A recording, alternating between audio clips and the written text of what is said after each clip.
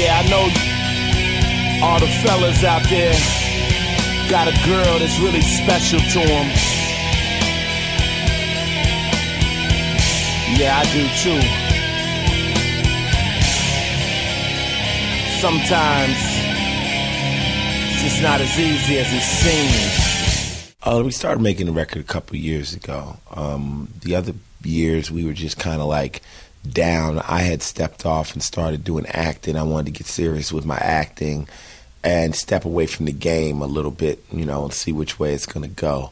So, you know, we took a hiatus and stuff, but I think right now is a perfect time for the music. You know, the political climate is right there, and, you know, people have heard a lot of other forms of the music, and they're going to come back to enjoy what we do. I mean, it's another body count record. I mean, our records are usually a, a group of thoughts that are going through my mind at the time and uh, you know, it's just rock the way I hear it. I was playing a video game called Hitman, and I just kind of got sprung off into this Hitman theory. So I wrote about the Hitman. You know, the the the the, the, the jack or a life. First thing you see is the flash. The last image, my mask. The last breath is your gas. The roar of the machine. The smell of burnt flesh. You know, it was just strictly Hitman stuff, and I just was you know, I get caught up in little things, you know. But then when we did the album, we're trying to get a title.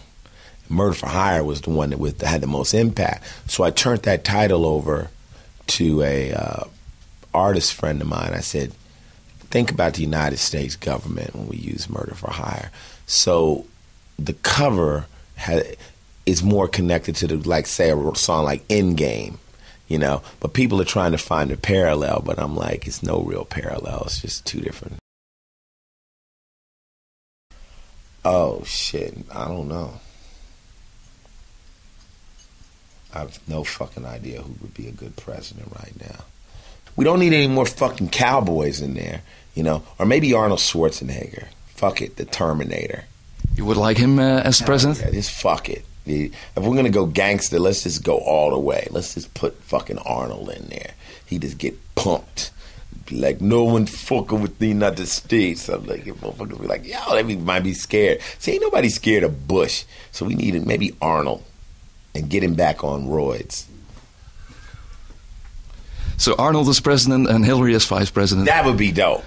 That would be dope. I think everybody beyond the United States dick if we had Arnold Schwarzenegger as the president. Motherfuckers wouldn't try to push us around. Yeah, that's what we need. We need a president that looks like he can whoop your ass. Yeah.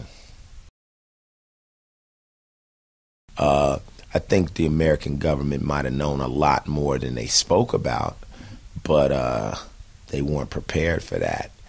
And hey, you know, I mean, we do shit to countries all the time. We get off. I mean, homie got off on us, you know, and you know that's just how the game goes. And I mean, the United States got to be prepared for a lot more terrorist attacks as long as we're fighting a war, you know. So, but the theory of it being a conspiracy made by the United States government, I don't see the angle. I don't see what the United States government had to benefit from doing it to ourselves. To get America back on track, you got to stop spending so much money on war and uh, add it to, more toward education and building the youth and uh, you know an economic base so that we can hold it together. Kind of like what Japan did. You know, after we bombed Japan, they just cut their army off and put it all into into into schools and intelligence, and now they pretty much own the world. You know, financially. So I think we got to spend a lot, a lot less money blowing people up and use it educating people. Finish this sentence with one word. George Bush is a idiot. well, have a very nice concert tonight at uh, Paradiso Amsterdam. Okay, thank you. Thank you for the interview. I probably that's probably the answer everybody game.